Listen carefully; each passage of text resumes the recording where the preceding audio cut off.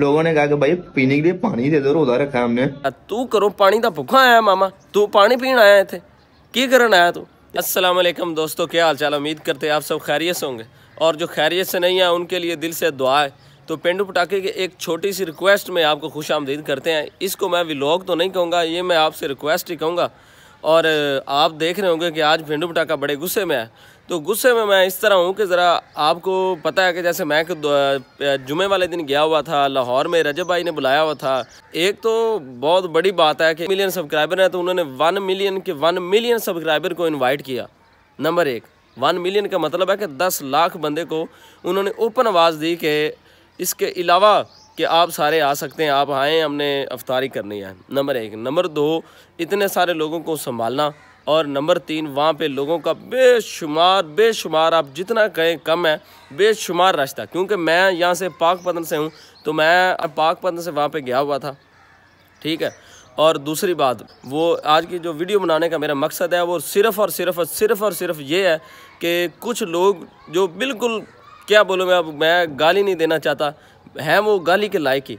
वो मैं यूट्यूब पर देख रहा हूँ कि उफ, रजब भाई के वहाँ पे बड़ी लड़ाई हो गई और वो बड़ी थकम पेल हो गई और अफतारी कम पड़ गई और वगैरह वगैरह। बड़ी ना अजीब गरीब किस्म से बातें किए जा रहे और जो बिल्कुल जब देख के बंदा ना बड़ा ही कैसे ना आग बगुला हो जाता है ख़ास करके मेरे जैसा जो कि मैं एक रजब भाई के बड़ा ही फ़ैन हूँ तो इसीलिए मुझे तो बड़ा दुख हो रहा है। वहाँ पे गए और अभी आप ज़रा ये वीडियो में देखें। एक बंदा है इमाम बारगाह में खड़े होकर कह रहा है कि उसको एक बद दुआ है। यार तू सोच अपने दिमाग लगा क्या बद दुआ वाली बातें कर रहा है यार तू? अफ्तार के लिए आया तू अल्लाह पाक का नेक महीना है नेक जगह पे खड़ा है और तू कैसी बातें कर रहा है?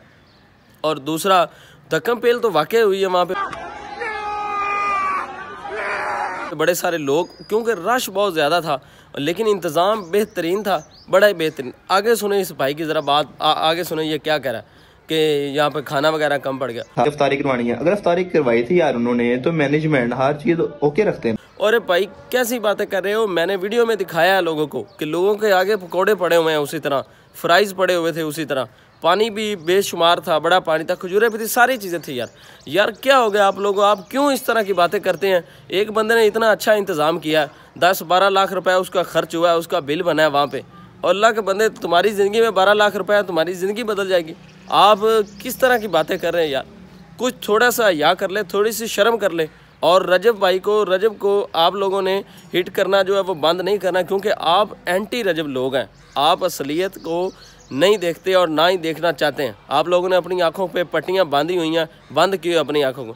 और बच्चे को सुने जरा कह रहा था कि उसको नीचे आना है। सुने ये जरा वीडियो देखें जरा। रजब भाई ने अफ्तारी करवाई है यार साहब की तो उस टाइम रजब भाई को हमारे साथ होना चाहिए। इसके बाद ये बच्चा कह रहा है वो आ, हमारे वहाँ पे हमारे पास नहीं आए।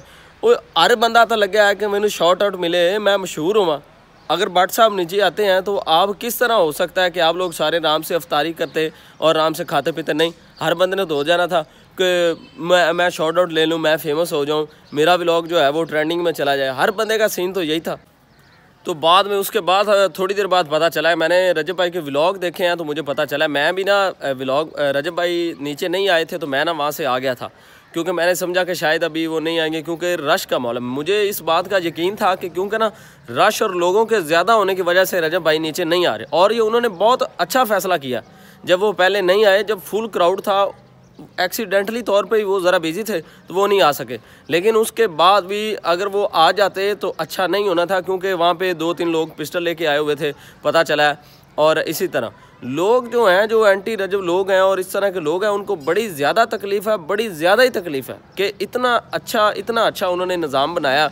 और हकीकत बात यह है कि रजब भाई जो हैं, वो एक ज़िंदा दिल और दिलेर आदमी है। मैं जब उन्होंने ऊपर से आवाज़ दी कि मैंने नीचे आना है तो इस बात का हमें तो नहीं पता था कि लोग पिस्टल लेके आए हुए हैं। लेकिन रजब भाई को पता था व्लॉग मैंने बाद में देखा तो मुझे पता चला कि लोग पिस्टल लेके आए हुए थे। हमें तो नहीं पता था, रजब भाई को पता था कि लोग प्रेशर लेके आए हैं, कि इसके होने के बावजूद रजब भाई नीचे आए और लोगों में आए और अपनी जान को उन्होंने आगे नहीं रखा। उन्होंने अपनी फ़ैन फॉलोइंग को, लोगों की मोहब्बत को, प्यार को आगे रखा और वो नीचे आए और वहाँ पे आके उन्होंने सारे लोगों के साथ सेल्फीज ली वीडियोस बनाई, वगैरह वगैरह। और दूसरा ये कि उन्होंने वो मैंने पहले भी बताया कि वो ज़िंदा दिल और दलेर आदमी है। मैं, वो पंजाबी में कहते हैं कि इन माँ कांड करते ही सुती। रजब न माँ कंड करते नहीं ਸੁੱਤੀ सी कि इंज के लोग आके पिस्तौल लैके आन के करेंगे तो रजब डर जाएगा। लेकिन खैर, छोड़े, हम इस बात पे नहीं जाना चाहते, लेकिन ये है कि ये वाली बातें अच्छी नहीं है और मुझे बड़ा ही दुख है। मेरा सिर्फ़ मेरा पैगाम सिर्फ़ उन लोगों के लिए है जो एंटी रजब लोग हैं और उसके अलावा चंद एक पगौड़े हैं जो अपने आप को फ़ेमस करने के लिए रजब का नाम यूज़ करते हैं और उन्होंने ये नहीं किया, वो नहीं किया, पानी नहीं मिला। लोगों ने कहा कि भाई पीने के लिए पानी दे दो रोजा रखा है हमने ਤੂੰ ਘਰੋਂ ਪਾਣੀ ਦਾ ਭੁੱਖਾ ਆਇਆ ਮਾਮਾ ਤੂੰ ਪਾਣੀ ਪੀਣ ਆਇਆ ਇੱਥੇ ਕੀ ਕਰਨ आया तू एक एक मोहब्बत थी उनकी उन्होंने बुलाया था इफ्तार पार्टी पे सारे लोग आए थे कि अच्छे से प्यार से सारा काम हो जाता तो कैसा था लेकिन नहीं आप लोग कोई कह रहा था मेरी जूती टूट गई टूट चुकी है देख सकते हैं मेरी अपनी भी टूट चुकी है ये सिर्फ रश की वजह से कोई कह रहा था ये हो गया मैं भूखा रह गया मुझे खाना नहीं मिला ਉਹ ਮਾਮਾ 2000 ਬੰਦੇ ਦੀ ਪੈਕਿੰਗ 12 ਲੱਖ ਰੁਪਈਆ ਲਾ ਕੇ ਉਹ ਲਿਆਇਆ ਉਹ ਕਿਹਦੇ ਲਈ ਲਿਆਇਆ ਲੇਕਿਨ ਤੁਹਾਨੂੰ ਖਾਣ ਦੀ ਤਮੀਜ਼ ਨਹੀਂ ਹੈਗੀ ਸੀ ਤੁਹਾਨੂੰ ਬਹਿਣ ਦੀ ਤਮੀਜ਼ नहीं हैगी सी बहरहाल जो भी है और मैं इस बात पे बड़ा शर्मिंदा हूँ और मुझे बड़ा दुख है कि मैंने भी ना मुझे ये मैं तो नहीं ये बात समझ सकता लेकिन मैंने ये बात बाद में समझी जब रजब भाई का मैंने व्लॉग देखा है कि उनको कितना थ्रेट था कितना मसला था और कितने वो बिज़ी थे सारी चीज़ों में ये सारी चीज़ें करने के बावजूद उन्होंने हमें इतना ज़्यादा टाइम दिया हमारे पास बाद में नीचे आए मैं तो नहीं था लेकिन वो नीचे तो आए और उन्होंने सारा मैनेज किया ये वो वगैरह वगैरह। मैंने अब उनका जब बाद में व्लॉग देखा तो मुझे पता चला है कि उन्होंने कितनी मोहब्बत कितनी मेहनत और कितनी दिलेरी के साथ ये काम किया। ठीक है तो मैं अपनी तरफ़ से रजब भाई के लिए माजरत बड़ी माजरत रजब फैमिली सारी से माजरत करता हूँ को मैं ऐसे ही आवाज़ें लगाता रहा कि वो बाट को नीचे भेज बाट नू उगा लीजिए वो मुझे इस तरह नहीं कहना चाहिए था। मुझे आपकी सूरत हाल को समझना चाहिए था।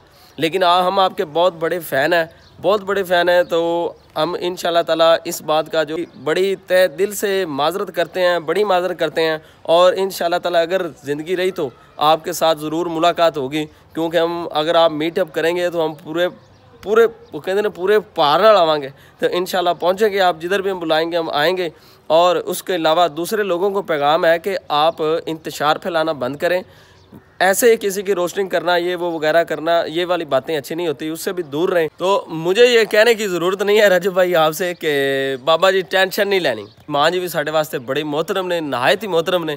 तो तुम एक दलेर आदमी हो तो इन शाला तला इन शाला तला इन शाला तला अल्लाह पाक आपको और कामयाबियाँ अता करे, और कामयाबी तो हम अपनी, मैं अपनी गलती के लिए बड़ा ही बड़ा ही शर्मिंदा हूँ। बहुत ही शर्मिंदा हूँ कि मुझे इस तरह नहीं करना चाहिए था।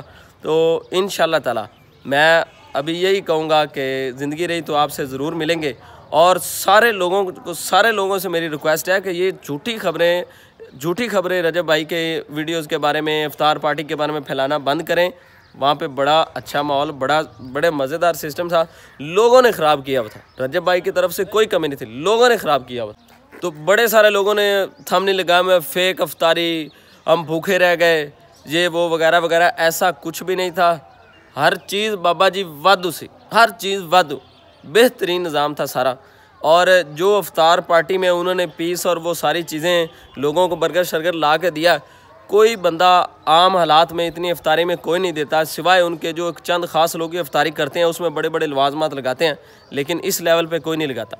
या लगाता है वो कराची वाला, जेडीसी वाला एक बंदा है, जेडीसी वाला, जेडीसी या क्या नाम है उसका, वो लगाता है तो इन ताला इन ताला रजब भाई आपसे ज़रूर मुलाकात होगी। और आज मैं बिल्कुल ये नहीं कहूँगा कि वीडियो को लाइक, सब्सक्राइब ज़रूर कर दें, चैनल को कर दें, ये मैं बिल्कुल नहीं कहूँगा। ये मेरा सिर्फ़ पैगाम है। ये व्लॉग नहीं है, ये मेरा पैगाम है। तो अल्लाह हाफिज़।